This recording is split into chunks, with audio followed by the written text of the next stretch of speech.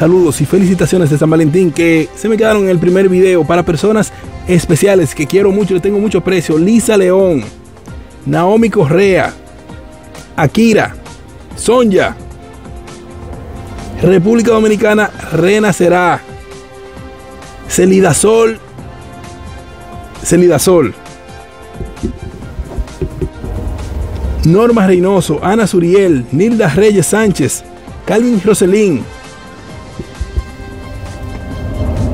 Gumercinda Felipe, Nica Pérez Matos. Y ahora nos vamos con las noticias sobre el lamentable caso que reportamos ayer de una menor de edad que fue encontrada muerta. Una menor de 16 años de edad fue encontrada sin vida en el baño de su habitación. La mañana de ayer lunes, los familiares señalan como presunto responsable a un profesor de matemáticas.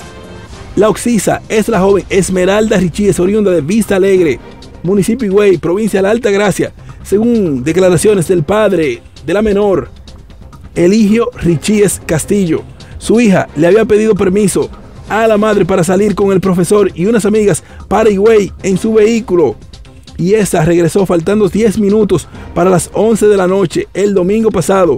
El padre cuenta que llamó la adolescente y Esmeralda le respondió que habían salido para la playa del Macao, pero ya iban de camino para la casa.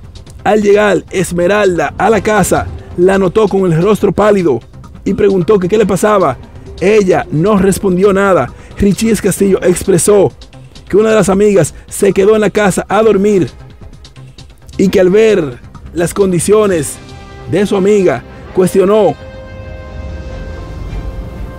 El padre vino, interrogó a la amiguita y la amiguita se estaba negando, estaba diciendo que ya no sabía nada, que se bebieron una cervecita y que no pasó de ahí la cosa. Le estamos peleando a Esmeralda porque se había ido para la playa. Entonces Esmeralda se sienta en la cama, luego se para y la cama notamos que estaba llena de sangre.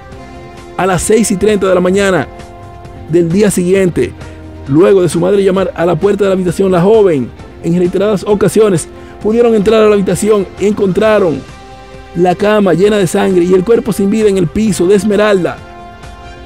El padre alega que su hija no estaba embarazada, que su pequeña no sufría de nada. Sin embargo, Michael Pion, quien es familiar de la fallecida, reveló que hay audios donde una de las amigas de la joven dice que el profesor le dio cinco pastillas para que abortara.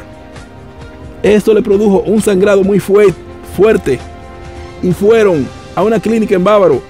Ella y Esmeralda no quiso entrar a la emergencia y se desmayó varias veces en el carro. Comentó que el profesor se mantuvo en comunicación con las amigas de la fallecida preguntándole que cómo seguía Esmeralda. Los familiares acusan al profesor del fallecimiento de su pariente y esperan los resultados de la autopsia. El profesor implicado en el caso es John Kelly Martínez, quien se entregó al mediodía de este martes a las autoridades y se encuentra en el proceso de interrogación con la Policía Nacional de esa localidad. También en el caso está siendo implicada una menor de edad, supuestamente es compañera de la joven. Por el momento se desconoce si la misma ha sido detenida por el Ministerio Público, ya que le iban a solicitar orden de arresto, igual que al profesor. En tanto, el cuerpo de Esmeralda Richíes fue enviado a patología forense para determinar por autopsia qué fue lo que en realidad le ocurrió a esta joven. Vean, esta vaina de muchachos saliendo con profesores, a mí nunca me ha gustado esa vuelta. Los profesores están para dar clase en la escuela. Eso de que dar clase después de tarde en la casa, no voy con esa. Y vean, a mí, yo soy hijo de dos profesores. Y yo con 19 años me tocó dar clase un año enterito. No fue que yo cogí, cubrí por el papá mío, por la mamá mía, ahí un, mes. No, un año enterito de clase di yo a la edad de 19 años. Y yo nunca tuve ningún tipo de contacto, ni me pasó por la mente. No con las estudiantes mías, sino de la escuela completa, con las que eran más grandes. Que no, que déjame ir a visitar después, que déjame hacer... No, no se ve bien, está incorrecto. Porque eso puede implicar después que usted tenga que pasarle la clase o quemarla. darle una nota que no va de acuerdo con el rendimiento escolar que en realidad tiene el estudiante, el estudiante. Entonces no voy con esa de que se estén juntando profesores con estudiantes en sitio que no sea en la escuela. Oigan un audio de la familia a continuación.